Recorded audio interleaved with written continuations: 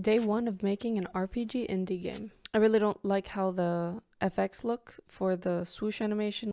So I would like to check out the combat in Children of Morta and get someone with a sword and a shield just for some inspiration.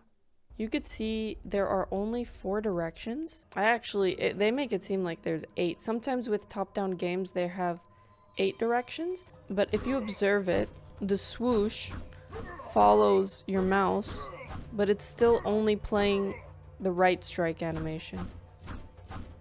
So I kind of like how that looks.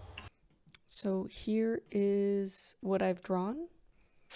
So I changed the animations and I kind of added it so that the FX follows the mouse, but there's only four different directions. And I'm pretty happy with it. I also added some sound effects and I did some basic animations for the punch as well. I don't think we can get away with making the punch go follow the mouse, I also drew some bushes, but currently you cannot get the, the blueberries. You can only harvest them. Um, let me just add an axe so the chopping works. And it crashes, which I need to fix that. But generally pretty happy with the changes for today. And call it a day and do the fixes tomorrow.